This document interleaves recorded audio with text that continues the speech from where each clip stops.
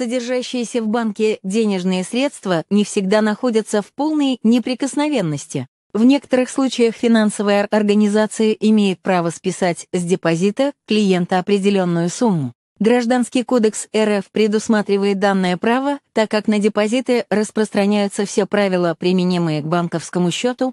Председатель правления кредитной организации «Обновление» Михаил Дорофеев разъяснил эту ситуацию. Подробнее о новости читайте на нашем сайте.